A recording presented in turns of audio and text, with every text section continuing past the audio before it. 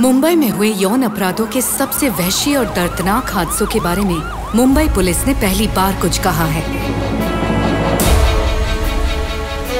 अगस्त 2013 22 साल की एक फ़ोटो जर्नलिस्ट का पाँच आदमियों ने दिन दहाड़े खौफनाक सामूहिक बलात्कार किया।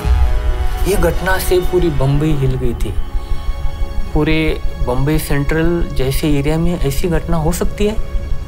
अकेली लड़की है और उसको जैसे जानवर के जैसे नोच रहे हैं। अभी भी वो जो घटना है वो मेरे सामने आती है तो मेरे रोमते खड़े हो जाते हैं। वो इतनी घिनौनी और गंदी घटना थी। उसका स्टेटमेंट हमने लेना चालू किया। वो तकलीफ़ में वो रो रही थी बार बार पूछ मतलब मम्मी का हाथ पकड़ के वो हमें बार बार वही पूछ रही थी क्या होगा आगे?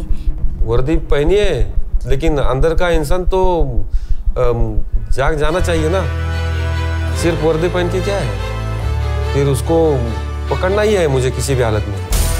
ऐसे टाइम में तो आखिर बम्बई पुलिस एक साथ आ जाती है। अब पुलिस स्टेशन वाले क्राइम ब्रांच वाले हमको भी बहुत गुस्सा था हमको भी लगता था इनको जितनी ज़्यादा से ज़्यादा सजा है वो उनको होना चाहिए।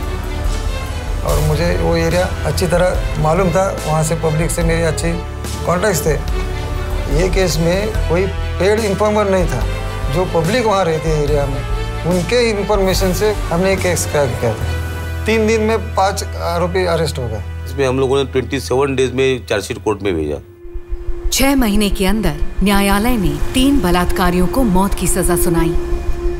यौन अपराध के लिए मौत की सजा सुनाने वाला पहला राज्य महाराष्ट्र है। जैसे ही ये विक्टिम पूरी तरह से टूट गई थी, पूरी सहमी हुई थी, लेकिन उसने जो हिम्मत दिखाई है, वो हिम्मत दिखाने की वजह से ये केस में जस्टिस मिला है। एंड फॉर दैट आई मैं क्या बोलूँ, मैं उस, उसको और उसकी मम्मी को अपने दिल से उसे सल्यूट करती हूँ।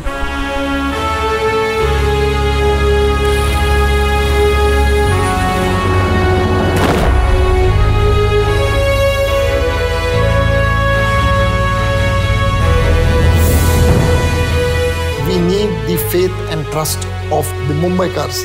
I can assure you as Commissioner of Police that Mumbai Police will not belie the trust which has been imposed on it and we will deliver. एक शून्य तीन पर कॉल करें सभी मुंबईकरों और उनकी पुलिस फोर्स को समर्पित डॉटर्स ऑफ़ मदर इंडिया के निर्माताओं की पेशकश